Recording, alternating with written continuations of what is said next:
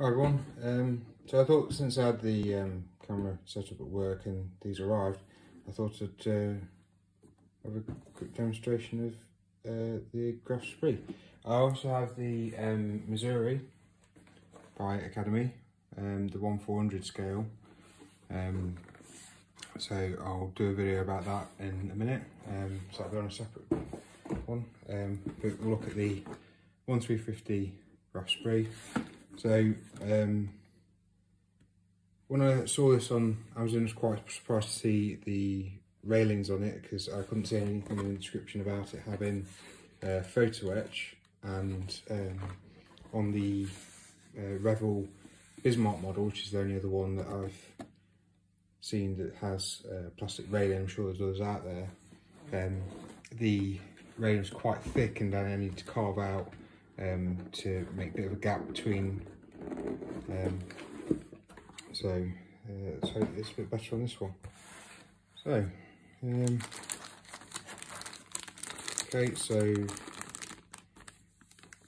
ni nicely detailed um, nameplate there and the railing. So it's got um, two rails instead of three, like on the uh, Bismarck.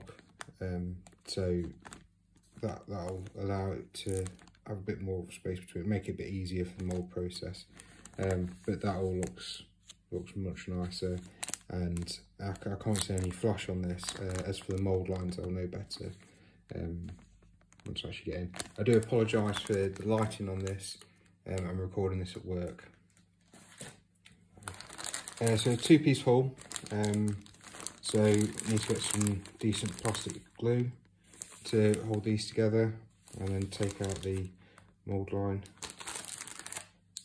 Um, so it's a there's a reasonable amount of detail. Now, maybe somebody can tell me. I've, I've seen other videos and people have mentioned about drilling out the portholes. Is that just to make them look deeper, or is there another reason? Because don't portholes have glass and therefore the plastic that you can see would just be the glass? I don't know, if someone can let me know.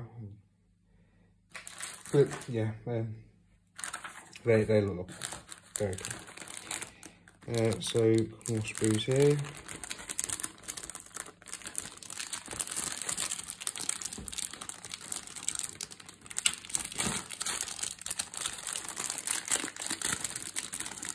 In.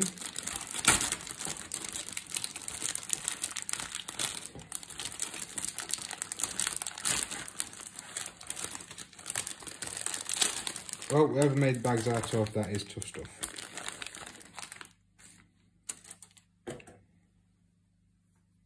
So, looks like we've got the uh, small boats and some of the weapons searchlights and a funnel and planes on there that is raised which is a shame. Um, I've seen some other kits have got um, the uh, clear plastic and uh, they're able to have recessed lines on that.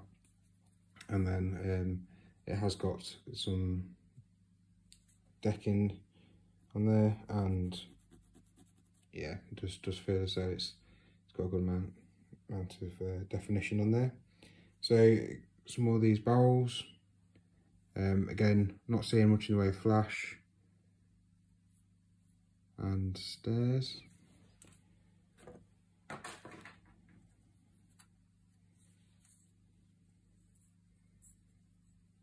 So, so we've got some superstructure detail here.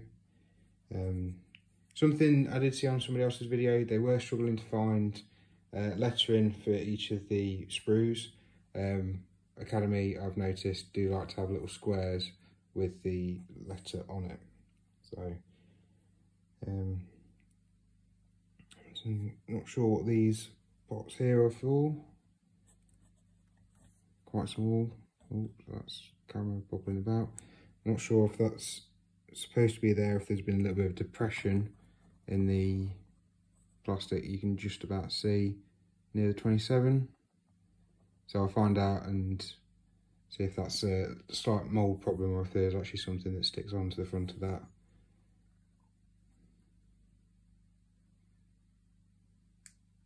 So it's quite nice. So, and then we've got deck and main guns. Now, I'm, I'll be honest, I'm not into boats. Um, not, not much of a historian or anything like that, so I have no idea what a pocket battleship is. So, um, yeah, they've got two super fire turrets, is it? Uh, instead of the usual three to four that battleships do. So is it pocket because they have fewer super fire turrets or well, I don't know. So um, I think that's the water break they call it. So there's a nice definition on there. And the barrels are nice and hollowed out, which is good. And they come in one piece, so you don't have to worry about trying to put two halves together and then losing a lot of the um, losing a lot of the barrel to smoothing out. So again, it's good definition on the deck and then looks like we've got some small fire weapons there. And are these torpedo tubes? Um, bit bit plain but I'm guessing that's how it was. There's nothing really there. Um, so we've got the propellers which doesn't look like they've got much um, much of an angle on them, but maybe again that's just how it was. Um, it'd be pretty slow moving if they're only tilted that much. And some of the longer secondary weapons there, which we've got again ni nice detail on them, and it, has been a great kit. I've not seen uh, flash anywhere on it, so just have to see what the mold lines are like. There's there's a slight slight edge to it but that might come straight off with uh, the edge of a hobby knife instead of having to spend ages grinding everything down. Um, anything else? Uh, instructions and yeah. So not had much experience with decals. This doesn't feel like a very thick sheet but it does look like it has quite a bit of colour. Uh, it is quite a vibrant red, but it does look like they missed the mark. So some have got more white round the edges than others, but that's just me being a little bit picky. So they've, yeah, it's, it's, you know, seems alright.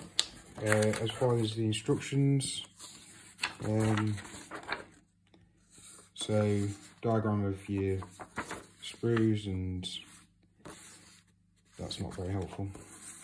Uh, I do think they can print in colour these days, um, especially for a painting guide.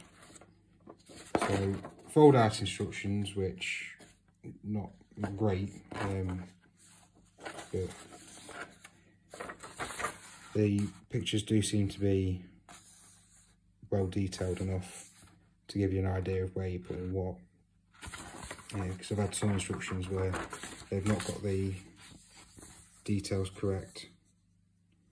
Um, for instance, part numbers. Um, I've had a few kits recently where part numbers don't match up with what's on the sprues. So then you're visually looking around trying to find the part that looks like the one that you're after. Um, but that's, that's just unfortunate. Uh, but yeah, that's uh, Graf Spee. I'll um, hopefully get around to building that soon, work allowing. And uh, if anyone's got any questions or wants to know more, give me a shout. Okay, thanks for watching.